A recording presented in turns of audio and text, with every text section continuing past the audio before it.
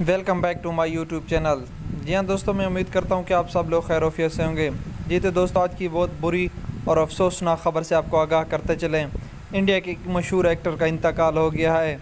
India के इस मशहूर एक्टर का इंतकाल कैसे हुआ, वो तमाम तर तफसीत आपको हम आगे जाकर वीडियो में देने वाले हैं।